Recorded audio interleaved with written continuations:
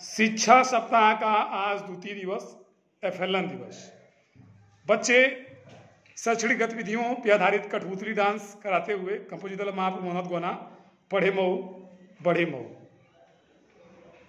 FLN दिवस का आज सेकेंड डे शिक्षा सप्ताह के दौरान और बच्चों ने यहाँ पे कठपुतली डांस किया।